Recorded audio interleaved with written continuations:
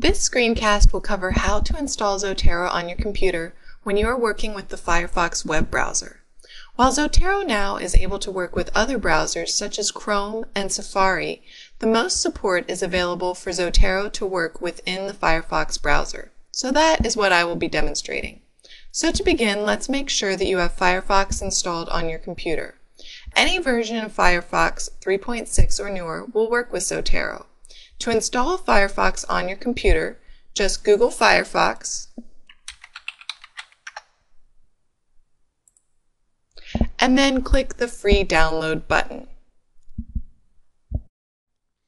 Second, you need to download two Zotero extensions to your computer. To do this, let's go to the Zotero website at zotero.org. First, we will download the extension that will create your Zotero library. Start by clicking the big red Download Now button. Next, choose the type of Zotero that you would like. Your choice of Zotero will depend primarily on which browser you will be using the most frequently. I will be using the Firefox browser, so I will choose Zotero for Firefox from the Table of Contents menu. Next, I will choose the first link that it gives me under Zotero for Firefox.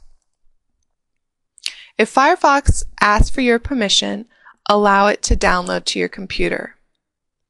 Click the Install Now button and restart Firefox for this change to go into effect.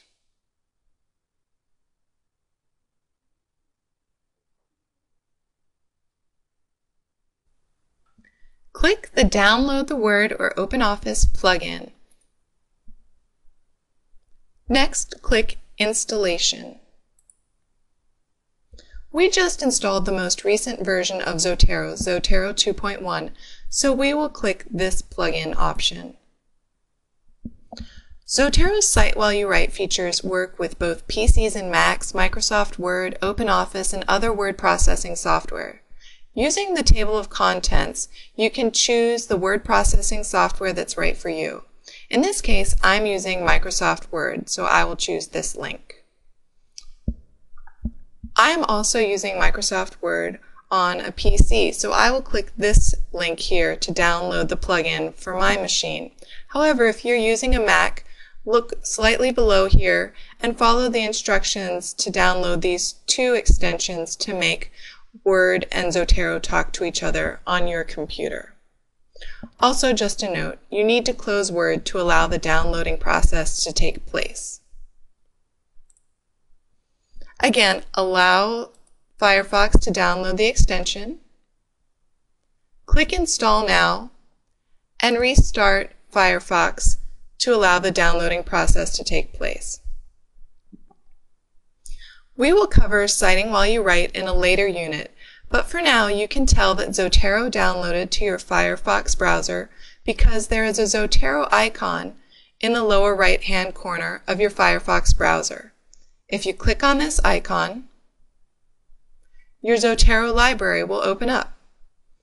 To summarize, to begin using Zotero, you must have a relatively recent version of the Firefox browser and you need to download the Zotero library extension and the Zotero word processing extension.